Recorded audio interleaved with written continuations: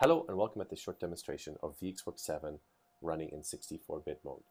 For this demonstration I'm using a Freescale T2080 processor uh, on, uh, mounted on a Curtiss-Wright VPX3-133 board. It's a 3U VPX mount. It's nice and compact and you can see it on the left hand side of my screen here. It has eight uh, logical cores, four physical cores and I'll show that during the demonstration as well. You can see here I've got two cables connected uh, beside power naturally. One is the serial cable and the other one is Ethernet. So I can just dive into this demo right away. I've booted VxWorks already. I took the liberty of doing that. And you can see here it's VxWorks 7 SMP 64-bit. So the operating system runs all across these eight logical cores. And you can see that here as well because I have an 8 CPU count and I have 4 gigs of memory. If I look at my task table, you can see that all of the relevant fields are 64-bit. So the task ID is 64-bit and the program counter is also 64-bit. And then if I step one layer deeper, I can actually look into these um, tasks and do, do a task show of that 64-bit address. And then you see that uh, the, uh, the information here is also 64-bit information. So these are 64-bit registers um, for all of the processor registers. And then I can look into things such as address space show, which gives me more information about the address that the operating system has access to. And in this case, you can see that there's indeed about four gigs worth of total physical memory, uh, but that you can actually address up to eight terabyte of, of kernel virtual space. So lots of space to work with here. It's a fully fledged 64-bit operating system. And with that 64-bit operating system, you get all of the facilities that you would expect from a real-time operating system, from a command line, building, debugging, uh, but also an analysis tools. And that's what I wanted to show you here. I'll make a quick step into the debug tools, and then we'll go into the analysis tools. Before I go there, I do need to quickly set up uh, my IP address, which I hadn't done before. Uh, there we go. And then I need to uh, start my debug agent. Uh, that is a um, that's a function call. You can also configure this automatically. And uh, that's it. Then I can uh, connect my debugger. And once the debugger is connected, I can then download my, my applications and, and, and debug them automatically. So I'll use the, uh, the standard uh, VxWorks Workbench uh, Cafe Top demo example. So I can run my kernel task and it'll attach the debugger break at the entry point.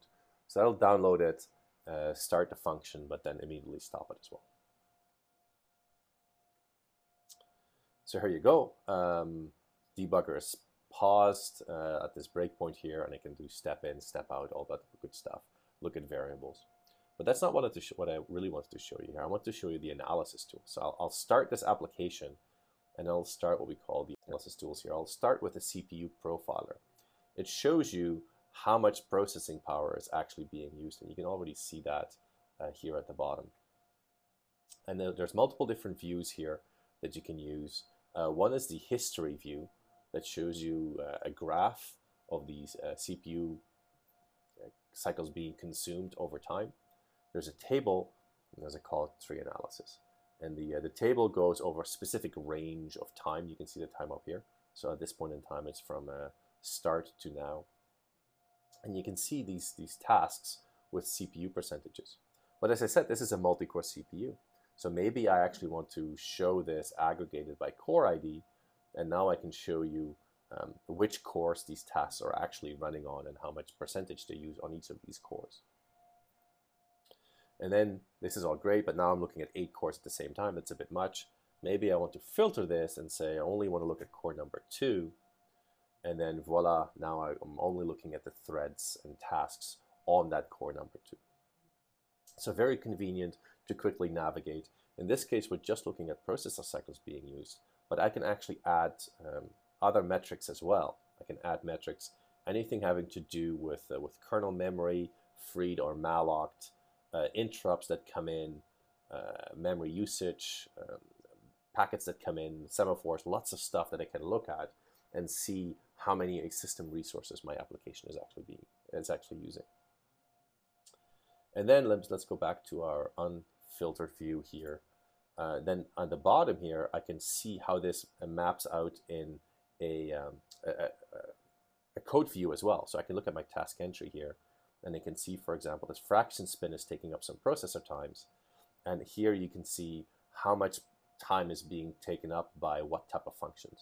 So in my code view, I can see, oh, wait a second, um, the while here uh, is actually taking up a lot of time. And then my, uh, my tree underscore a function is also taking up some significant time here. So a really good way of quickly looking at uh, the consumption of your system. If I stop at this tool first, uh, I can switch to other analysis tools. Uh, there's a system overview as well that kind of blends a whole bunch of these views together. Um, again, I have my, my tasks, I have my, uh, my uh, viewer here, and I can see again my core uh, usage, but now it automatically blends in kernel memory, I.O., as well as networking packets that are, that are going through. So a nice, concise, easy way to quickly get a grasp of your, uh, your 64-bit system.